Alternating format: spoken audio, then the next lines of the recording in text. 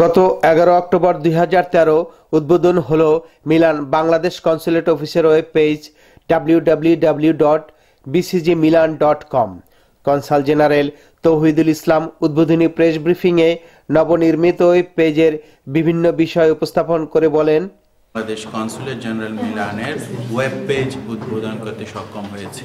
আমাদের ওয়েব পেজের অ্যাড্রেস হচ্ছে www.bcgmilan.com আমার বিশ্বাস, এই ওয়েবসাইট উদ্বোধনের মধ্য দিয়ে দীর্ঘদিনের প্রবাসীদের কনসুলার সম্পর্কিত অনেক সমস্যার সমাধান হবে।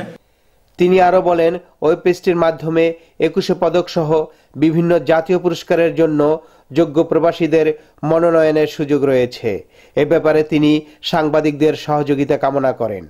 এ সময় উপস্থিত ছিলেন Channel I ATN Bangla Bangla TV NTV channel line Swadesh Bidesh EuroBD dot com প্রবাস বাংলা, প্রবাস বার্তা সহ বিভিন্ন ইলেকট্রনিক্স ও প্রিন্ট মিডিয়ার সাংবাদিক বৃন্দ। উপস্থিত ছিলেন কনসুলেট অফিস মিলানের কনসাল দেওয়ান হোসেন আয়ুব, প্রশাসনিক কর্মকর্তা মানিক বড়ুয়া ও কনসুলেটের অন্যান্য কর্মকর্তা বৃন্দ। বাংলাদেশ কনসুলেট মিলানের নির্মিত এই ওয়েব পেজের মাধ্যমে ইতালি প্রবাসী বাংলাদেশিরা তাদের পাসপোর্ট সংক্রান্ত বিভিন্ন বিষয় ছাড়াও নানা ধরনের প্রয়োজনীয় নোটিশ সহজেই জানতে পারবেন। ইতালির মিলান থেকে নাজমুল হাসান শামীম, চ্যানেল আই।